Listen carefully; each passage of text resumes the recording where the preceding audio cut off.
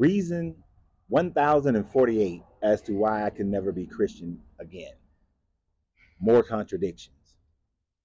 So, in the Paulinian letter of, of Rome, uh, that y'all call Romans, he states that by faith alone you are saved and can enter into heaven. But then, when you read in the book of James, it tells you that it is by your works. That faith without, yeah, if your faith, you can have all the faith in the world, but if there's no works that indicate that, that indicate your faith, then that faith is dead. So by faith alone, you cannot get into heaven. It is also by your works. And I know you Christians, y'all love to just quote the Romans part because you don't want to have to live and do the work.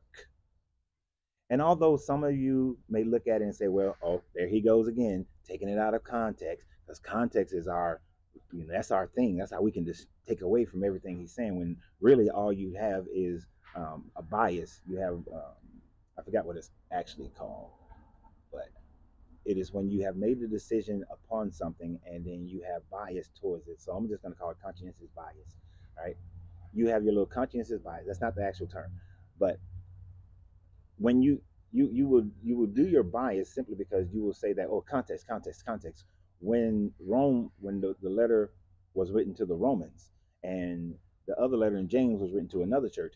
And the reason why those letters say the different things is simply because they were written in a way so that these churches had a specific problem that they had going on. So it was for that church.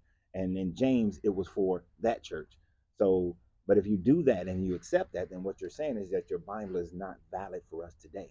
That either neither one of those two um, scriptures, as you call them, are valid for today if they were written for a specific person. Uh, for instance, I got a call from the VA today. They called to make an appointment. That appointment was for me. Although my brother goes to the VA, that my, that that call was for me, not for him. So it's not valid for you and that's the same process. If it was for this church and this letter was for that church, then it's not for everybody else. So you cannot actually use that, and you have to. Well, you don't have to, but because your conscientious bias says that nah, I'm going to still separate it and be able to negotiate it to fit my mentality because I need this to have one voice. I need this to still be the same thing. But the truth of the matter is, it's a contradiction in the teachings of your Bible. And you have many of those contradictions because you have different authors writing at different times, writing to different people under different cultural norms, and they have written your book to fit those cultural cultural norms. And when I look at today, my culture doesn't fit the culture of 2,000 years ago. Your culture doesn't fit the culture of 2,000 years ago. So therefore, the majority of the information in your book does not fit who we are today. So therefore, it invalidates the information in itself, and there is no need for it. Now, if I did have to pick one over the other, then I would pick the James version because people talk a lot, but what they do indicates what they really believe. Where you spend your time indicates where you really believe. Where you spend your money shows what you really believe those are the things your works are way more important than your word so all the christians who stand on john 3.16 can stand on it all day. But this is why your jesus say that in matthew that hey y'all gonna be calling my name but i don't know y'all. I don't know you bro. Who you?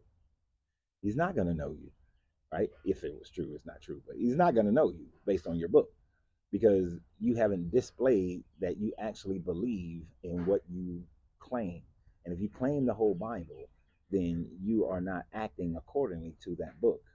So, therefore, these types of contradictions are 1048 of why I can never, ever, ever go back to being a Christian, go back to being a deacon, go back to being an associate pastor, as they tried to call me, but I rejected that title. Uh, but I could never go back to that because those contradictions, you know, they'll be in my brain. And, and, and how can you expect me not to analyze it? You, this God supposedly gave me this brain, gave me this free will, and you expect me not to analyze this information that you have and then see all that is messed up about it, all the contradictions. And that is why we walk away from this book and this religion, why we walk away from even the idea of having a relationship with a fictitious being that never existed as far as the biblical version of a Yeshua never existed. So, you know, and you want me to worship it? Nah, I'm good. You see, any deity that is the creator of the universe would not require my worship. Any deity that gave me free will would not require my worship. There wouldn't be a, you know, if then statement. If you love me, then you get heaven. If you don't love me, then you get hell. That wouldn't be, it wouldn't be a, and, let me clarify, if then ultimatum actually, instead of just an if then statement. Rather, it would be, I gave you free will. I gave you in nature the opportunity to understand how you should live your life. And by your works, we'll be able to demonstrate that. You'll be, we'll be, you'll be able to demonstrate it, and then it could see that. But there is no judgment to put you into some hell if you choose that that's not where you want to be. If you choose that you want to uh, live a great life but not worship me, that's cool.